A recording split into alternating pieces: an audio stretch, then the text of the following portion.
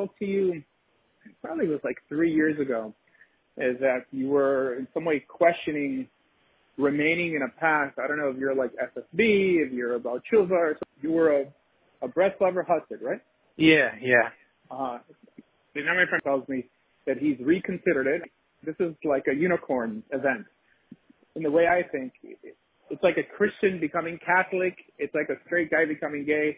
It typically doesn't doesn't cross over. But you're someone who became a rationalist for a bit, and now you went back. Well, I, I didn't I didn't fully take the full uh, leap, but I was uh, I was uh, dabbling in it for sure. Uh huh. This is clearly not a debate, but I want to educate my audience, and I just want to know what encouraged you to go back. So I had a little shyness uh, for a little bit to some of the. Did not. I wasn't like super close, but I had a little connection to Bar-Hayim's uh, Shira and whatever, and uh, some of his chevra, and uh, it wasn't like a deep connection. I knew a few people. I was looking into things, and uh, um, uh, like uh, the first thing that was kind of a turnoff in the rationalist world, I just kind of found it all a little bit dry. I completely agree yeah. with you. I mean, it's typically yeah. dry and it's very elitist. That means if you don't pronounce very, things very, very. this and that, yeah, they correct you and they're all right. But continue. Anyways, um, so yeah, some of the, the dry elitist stuff was uh was a little like uh I don't know if concerning is the word, but definitely was not my uh cup of tea. And uh Hitler, I uh it's funny what brought me back to more like of a you want to put like a like a Hasidic ashkafa, you to put a kabbalistic ashkafa, what I want to say, was uh I started learning uh Hasidic Chabad a lot, and uh and uh, that was kind of like for me that kind of uh reconnected me uh to that kind of derech, if you want to put it that way, and. uh you're not the only person that has done it like this. I mean, for some reason, I thought that you in some way detach yourself from any, you know, from anything you learned of how Judaism functions and this and that. But I've met people who could embrace everything I teach or hashkafically what I teach as yes, that's right, yes, this and that, but I still want to remain a Satmar, Chassid, or a, you know, part of Baba or whatever. Right. I mentioned last time in a video that I kind of like Meshichistim. They're so right, happy yeah. and purposeful, and it's just a different lens of viewing Yiddishkeit. I'm pretty sure in the vast majority of yeshivas of like uh, well, Hasidic yeshivas, the guys know that Kabbalah is not really halacha, but it's sure. it, it makes Judaism more palatable because if you're only just the bottom line, like what's the final halacha, this and that. I mean, life doesn't function like that. It's kind of like like having a yeah, wife that to... you just like you only give your wife what you're obligated to give her. Don't caress her and don't hug her and tell her nice things. So I get right. Yeah, go ahead. No, I was gonna say that I I think a, a person needs a little bit of like not just chizuk, but needs a little bit of like you know, for lack of a better term, ruchnius in his life. Needs a little bit of like feeling of devekis and closeness to Hashem. That I think the rationalist world could learn a lot more from like the Chassidim and from people who are more mystically inclined. Is like the inyan of just like flat out devekis, having like a a kesher to the Aibishter, a kesher to the to to Hashem. That uh that I felt like that's like I felt like in like some rational circles they kind of like make fun of that. You know, like make fun of someone like feeling close to Hashem, feeling like uh or not just feeling close to Hashem, just like someone like having like a geschmack, so to speak, having like a delight and and uh pleasure in their Yiddishkeit. First off, this is why I've become more tolerant with even messianics, right? Because there's some messianics that uh-huh. this is how they communicate with God. Even though it's man-made, I mean, as long as you acknowledge that a lot of these Kabbalistic ideas are kind of devotional attempts from rabbis to make everything sweeter, but they're not necessarily convinced that it's absolutely correct. Every attempt, every even the Tanya, I think someone could appreciate the Tanya and still feel that it's just opinion, right? I mean, it's just as as divinely inspired as if you wrote something, right? I mean, perhaps this person is a little more connected to God, uh, but it's not like it's all divinely inspired. I mean, that's one issue that it's a cat that I can't put back in the bag. that this is still opinion, and halacha is really what's unmovable. Well, I, I definitely agree with you on the sense that the thing that I think I heard you say that a thing that unites Klal Yisrael is the idea of keeping Torah Shabbat the Shabbat right? Shabbat That that's the main inyan, right? The main inyan is that is the being you know Shamrei mitzvahs. Um, but uh, to uh, that that I think that that I can be maskim to. That I think I can agree with. But uh, to say that uh, like the the Baal HaTanya writing something is like just like an ordinary guy, that's where that's where we might find a disagreement. But I, I don't think it's a, I don't think it's necessarily an issue to believe that there are special people in the world that have special crisis, what do you want to say, special uh, you know connections to Hashem that other people don't have, and still they're called prophets. The prophethood is the only office that the Torah endorses that could exist among men to give us God's will, as limited as it could be from the mouth of a prophet in terms of what's going to come or, you know, what we could prevent by doing tshuva and stuff like that. But the Torah has that role.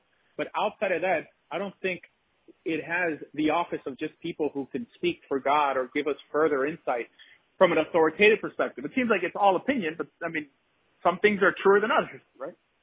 No, that's what I'm saying. I'm saying that you can have opinions that you're like there's a difference between like an opinion of someone you trust and someone that you like you just met. You know what I'm saying?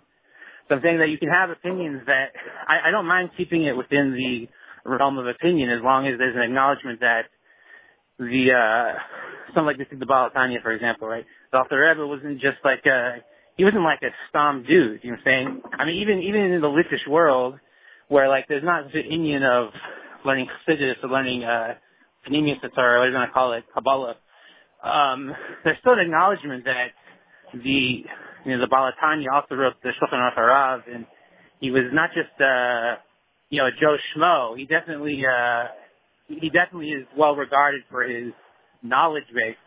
So I'm saying just to say that just to say that uh, he was an ordinary guy. I'm happy to say that I'm happy to say that someone doesn't have to believe everything the Tanya says to be a Erlich Yid, or going to say a, a kosher Yid. But uh, the, the, the disagreement I have is just to say that he was like, if if I wrote something or you wrote something, I think that's uh, I think that's where I might disagree with you. Right. Well, because you hold them in such high regard, you know. But if someone just as knowledgeable as the Baal HaTanya was, if they wrote something that contradicted everything the Baal HaTanya wrote, but you would still think he's great, and I mean, he's clearly greater than you and I, but it's still just opinion right? I mean, like you don't. That's, that's what I'm saying. I'm saying that. I, uh-huh. Yeah. I'm saying that. I'm saying we have such an example, right? Chaim uh, Volozhiner, right? Chaim Volozhiner with the Nefesh Chaim, and uh, there are some contradictions between the Nefesh Chaim and the Tanya. But I, I don't say that Chaim Volozhiner wasn't uh, uh, a, a great person, a tzaddik, whatever you want to say, just because he had some chilukei deis, he had some differences of ashkafa uh, whatever it might be, with uh, with Alter Rebbe. I don't I don't make I don't make it like he was a Gornish, he was a nothing. He was obviously no right. But they could both be great. I mean, they can't both be right, uh, but they could both be great. And at the end of the day, we'll find out who's right after we die, if anything. Hey, look, the person who created this big rift uh, between mystics and rationalists was essentially the Rambam. I mean, the Rambam started saying, if you believe this and that, so you lose your Halik and Olam I don't think anyone ever said that before, and this is why the Raavad and a lot of people would attack the Rambam, saying like, "Who are you to say this when Rabbi Brigham and you believe it?" Yeah, and the famous famous Raavad, yeah. This is what I see in the Jewish world today as well. I mean, I see this guy uh, Rabbi Mizrahi and and Yaron Reuven attacking like Chabadniks when they essentially believe, you know, in terms because they're saying like, oh, I mean, for someone to say that God needs them in any way, it's a limitation of God. Okay, yes, I see them adhering to that principle of the Rambam, but how about every other Kabbalistic principle that they toss out the window? So they use the Rambam in order to fuel their hatred, right? But at the same time, they do the same thing. This is why I've been very open towards Messianics and very open towards, you know, Hasidim, because at the end of the day, Judaism is able to be more colorful than just rational Judaism. That we can walk and chew gum we could know that this is the building blocks of Judaism. I mean, life would be just so dry. I mean, even for my kids, I know there's no there's no chovat to dress up on Purim. You know, but if my kids want to right. dress up, I mean, I mean that's their favorite holiday. I'm not going to say, oh, because Chazal didn't do it, we're not going to do it. No, I mean, life is a little more complicated than that. But that right. again, it opens me up to to groups like Messianic Judaism in particular because there's a huge double standard. We tolerate it from groups that look more ethnically Jewish, but I mean, hashkafically, I mean, someone could believe in the New Testament and ultimately bring them closer to God and still acknowledge, no, what we know for a fact, what we believe you know, wholeheartedly is Torah from Sinai and Torah Shebaal Peh. That's what makes you a Yid. I mean, that's the Lubavitcher approach, actually. I don't think the average Lubavitcher believes that you have to kind of hold by everything the Baal HaTanya holds. They're like, you have your Rebbe and we have ours, but essentially what unites us is Torah Shebichtav and Torah Shebaal Peh. All right. So this yeah, is why, I'll like, give you an example. Yep. Yeah. I'll give you an example. If someone if someone would tell me that, like what Dr. Rebbe mentions in the beginning of the Tanya, the the inyan that uh that a Yiddish and Neshama and Neshama Yisrael are is the Chelik Eloka Mima'al Mamish, right?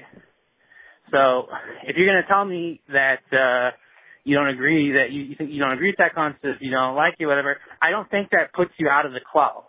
You know what I'm saying? I don't think that's I don't think that's apicorsis or kfira or anything that's so uh so radical that would mamish like put you outside of uh Klal Yisrael.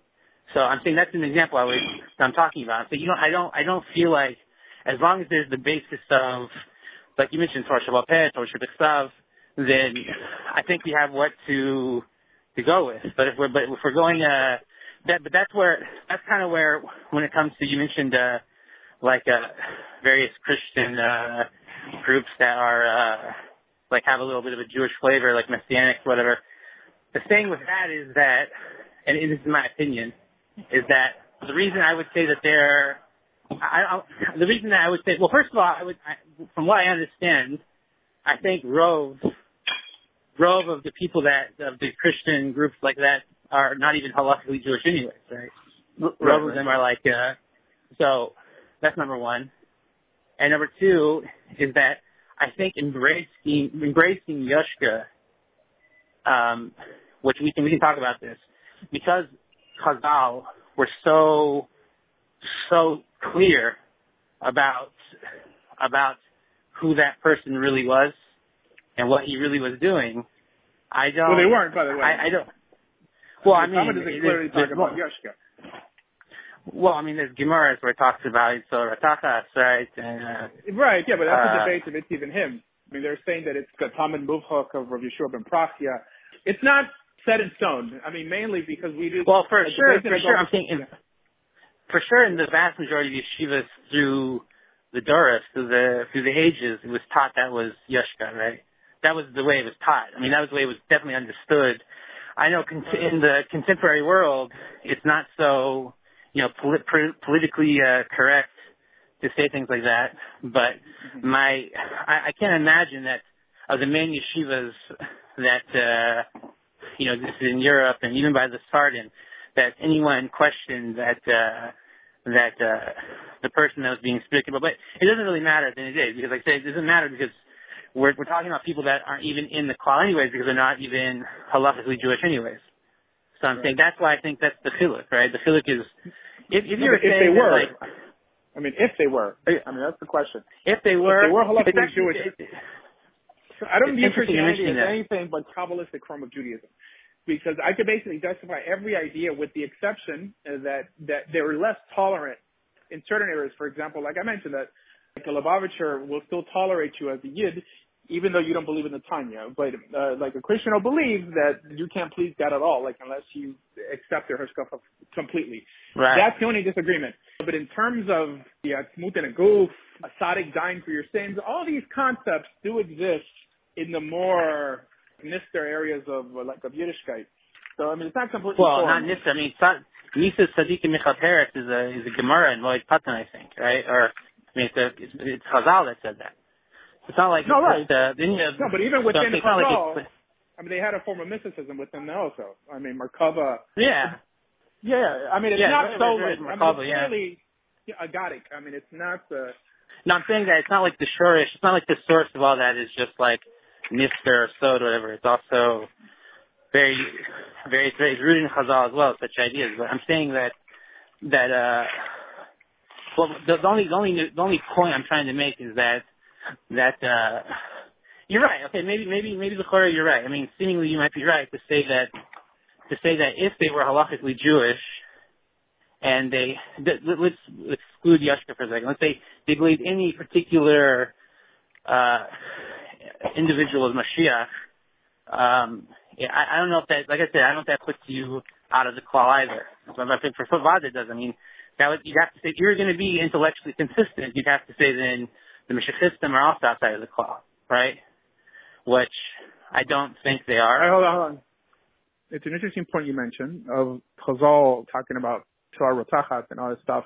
If that's enough to guide us hashkafically in a certain area, because I mean, I'm really convinced that Chazal really don't set hashkafa. Yes, they do. I mean, they mention it, by the simple fact that everyone sort of disagrees on that and there isn't a final din on it means that there isn't a monopoly on it. You know, for example, mm-hmm. I just made a bunch of videos with like Kutim, with like Samaritans in Israel. And it's interesting in the Mishnah, it seems like it talks about them like Jews, but come Talmud Bavli, it's already, they're like Kagoy. It seems that hashkafically assuming, right? but it's true. I mean, I think maybe 200 years ago, like uh, in less academic circles, people weren't making a they weren't distinguishing the Yeshua Notri that appears in the Talmud today with with a different guy. Even though I mean historically we know that the Beis Din didn't have the power to put people to death in the time of Jesus. It, it's hard. Like Chazal say that they killed the Yeshua Notri like seven different ways. Five no five or seven different ways uh, that the Beis Din actually put him to death. So, but anyways, I mean that's not here or there, but I mean the bigger question is, can Chazal guide us hashkafically on, from an authoritative perspective, on what's kosher and what's not, when they were limited to just like voting things into existence in in a court setting? Well, I would say I would say that uh, um, you, you're talking about as far as is it within the pasuk right? In the pasukim that talk about having a Beis right? If it's in the if if they have the power to to say what you can believe, what you can't believe, right? Uh, right, right. I mean, it seems that unless it's tied to an actual practice, like uh, I don't know, like Hilchos Avodah Zarah, it says that this is the way a pesel is worshipped. Now, if you do that, uh, then you're over on that avera, according to right. law. But to say that, to believe that someone's the Messiah, or I mean, for sure they didn't limit uh, people believing that a man could be like an atzmut and a goof. They had primitive ideas. Chazal, we're all six day creationists, which I am also, right? But compare that to like most Jews nowadays that adopted like a Gerald Schroeder billion of years of creation and, you know, right. in some way. Well, this is one thing I did want to respond to because you said that regarding the Sefirot, there's something I said about God having reproductive organs, that that wasn't to be taken literally. I believe that the people who initially wrote it did take it literally, and then later on, people who wrote about it said, no, you can't because they had to balance the Rambam and, and the Rasag and a lot of things into it. But it seems that the initial guys actually did believe it, right? I mean, Chazal believed that God had a body, right, or a shape. I mean, he put on tefillin. I mean, they believed it. Perhaps later on, the Rishonim sort of explained it away, which makes me feel that it's not wrong to believe it, and you're not judged by what you believe. You're judged by what you do.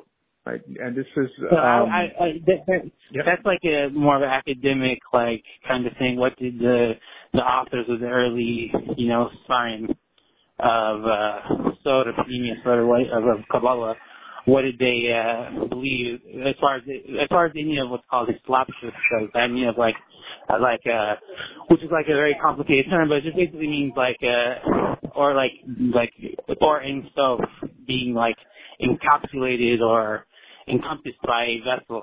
If it goes on you know, what you mentioned for Atzmus, right? If it goes on Atzmus or if it goes on or whatever, it's a whole it's a whole figure that um I mean I, I'm not I'm I'm not I'm definitely not uh No, you are qualified. I mean now we can read it how it appears. I mean for sure the Arizal believed what he wrote and the Radak believed what he wrote And and the Arizal believed in Tzimtzum like he actually believed that Mamish God contracted himself, which is fine, but it's not fine if like if you're a student of the Rambam, right, or like a like a full student of the Rambam, because you feel like, well, this. I mean, the Rambam laid down. I mean, he's the most influential uh rabbi that feel that. I mean, people feel that they have to kind of pay lip service to every time they give a shiur, right? They're like, oh yeah, we believe I'm not, I'm not so we can't believe in it. Yeah.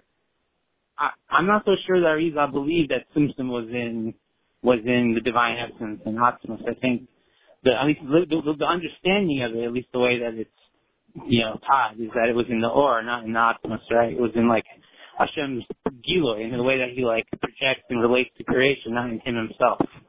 And that's definitely that's for sure the way the Radak and the the uh that's I think it's even before the Radak. That that yeah, was either way, I mean, according to the Rambam, there's still a limitation. I mean, to split up God as as a portion that's light and a portion that's just spiritual, that's still a limitation according to the Rambam. But in other words, we cannot please the Rambam and espouse Kabbalistic ideas as fundamentally true. But we have to pick. I'm saying that we don't have to pick. I mean, you could just say the Rambam's just opinion, which he is also, but people don't like being unpopular. And going against the Rambam is one thing that makes people unpopular. Right. Well, that, that's but that, that that's that's another thing. I think that's the the the, the way that it's usually explained. That's why I said the whole point of the email was just to say that if you're the it's just that I felt that uh when when you speak about these like concepts that you should speak about the concepts in a way that I mean not that you should. I mean I, I just felt that uh there was some misrepresentation in the sense that I mean I think you you're you're educated enough to know that the vast majority I mean, not just the vast majority, pretty much everyone who's kabbalistically inclined doesn't believe like Tzimtzum was in was in God himself or that the spirits are God Himself. Oh, correct. Kind of thing. I mean, I'm, right. I so agree with you. I think I agree. Right. So it'd be good to, for, it'd be good for like, maybe for clarification's sake, so that you know the people that. Uh, oh no, but I'm not attacking them for you. I'm just saying that it's Right, not in line you- I know with the you're not. Right? You know, so in other words, I it's know hard you're to say that we go fully by the Rambam, but that we believe in Tzimtzum. So people try to, you know, like enjoy both worlds. You can't enjoy both worlds. You have to either pick a side or say that everyone is just espousing their opinion. But in that case, that would open us up to um, other groups that aren't so desirable in the Jewish world, like essentially like messianics and stuff like that, who also espouse their opinions that, you know, I mean, perhaps they can't even articulate what they believe fully. I mean, they'll say the Trinity, but the, it, it, it's like the mystery of the Trinity. But what they're convinced of is that there's a God and that God wants us to keep His commandments to some extent, and that's really what we should all sort of get along under. Yeah. Right. Right. That, that's that's what I'm saying is that that's the chiluk. The chiluk is that that uh in- by Mekubalim, the idea of like stuff like uh parts and spirits and all this stuff is would not be within God Himself. Whereas Christianity, the separation of three parts is in God Himself, right? That's uh that's, Oh, that's wait, wait, a wait, big difference. So you're saying with what people believe in nowadays versus what the authors originally uh, intended by the simple fact that the average Christian can't even articulate fully what he believes, and even if he does, I don't think it makes it heretical. But to say that only because we have modernized the notion of the Sefirot, not to believe that God actually has a penis or this and that, right, that that makes it any better. I'm not attacking the Sefirot. I'm attacking the hypocrisy. That assuming that if you did take it seriously, I mean, suddenly that we have text that if we took it seriously, that we'd be heretics. It should make us not completely throw away that, but open us up to other groups that kind of do the same thing, right? And our job is to remind them, like what you're doing. Don't take it seriously. You know, this could be understood in the same way we could balance out the Rambam with this, not fully because the Rambam wouldn't even tolerate you thinking like that. But at the same time, I don't think the average Christian is even as religiously sophisticated as the average Jew to really explain what he believes. Because it's three in one, right? So three in one is not three separate. I mean, it's similar to the Sefirot. They're emanations. For sure, they're not physical emanations. Well, once you start describing reproductive organs, you're already talking about a shape. It's for sure Right. problematic according to the Rambam, right? It's not problematic to me because I think the world's more, there's more important things in life than to argue about silly things like this, like the complexity of God. We should stop trying to dissect God. And for those who want to, they have to tolerate people who disagree. I mean, I don't debate Kabbalists and I don't, I mean, debate Christians anymore. What I try to do Right. is get them to be Torah observant or to know the building blocks of our religion. That's it. Right. Just like that's. But I'm saying that that my could be I'm not right, but the the the way I understood how they teach uh how they understand their religion is that the, the parts of three are like literally in God Himself. That's the way I saw it. Okay. Mean, I'm saying it's not that way.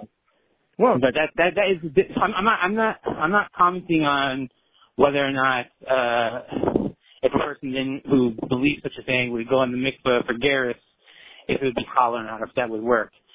I'm not commenting on that. I'm just I'm just saying that uh it is it is a difference in regarding to what whatever the authors of the of the early text of of uh Sod and believes. That's uh I think that's already that's already like it's already like pontification in some way. Because like, it's not they weren't they weren't those those texts themselves are not they're not super clear text. Even the even the even the Zohar itself there's it's not, it's not very clear. I mean, Huh? the New Testament only has 27 books. There's a lot more Kabbalistic texts. In other words, I view the 27 books of the New Testament less problematic than all the Kabbalistic books out there that talk about the Zeir the Partsufim, the Atzilut. That's more problematic. In other words, it could lead you to more heresies than just having a debate if God is one or three in one. In other words, we nitpick with messianics, but for some reason we tolerate a lot of things within Judaism that is a lot more problematic. Even the notion of Shabtai Tzvi, right? Shabtai Tzvi, what made him go off? Basically, the teachings of the Arizal, the idea of, of the nitzotzot, is that you actually have to do evil to recover some of the sparks that fell away. Evil. Now, I'm not saying the average person takes that literally, but he did. And the Arizal believed it, you know, like, or then Rabbi Natan of Gaza wouldn't have endorsed it. So it shows that, eh, that we should work together with people that we disagree very little on. And I think that there's there's more problems in Kabbalist literature than in the New Testament.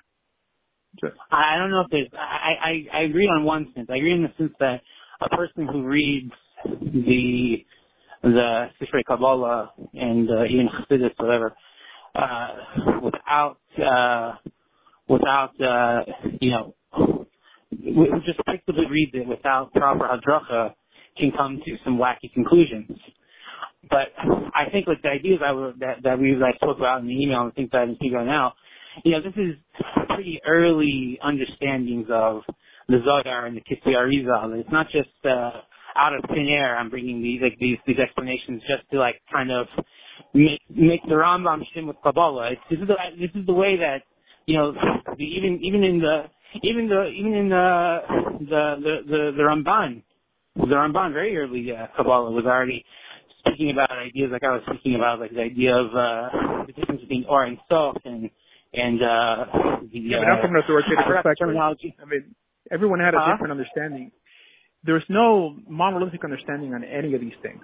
Right? I mean, some rabbis Yeah. feel like they should comment on it because they don't want people to take it literally and this and that, which shows that you know it's just your opinion, man. Uh, It's I mean it's their opinion, and it's fine. But uh, I don't want to make it sound like I'm just defending messianics. I'm just trying to keep this consistent.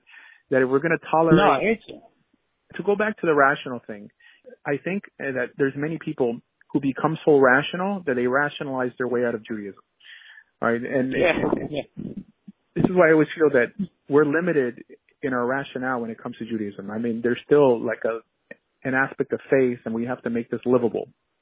And honestly, I mean, I know that David Bar-Hayim crowd doesn't like. I thought you guys because- were like I thought you guys were like big bros. I thought like he was like No. I mean, I interviewed the guy, but then, I mean, he said no to a different interview. We have a different style, and I get it. I mean, um, but the You- you- rationalists you never got along with me.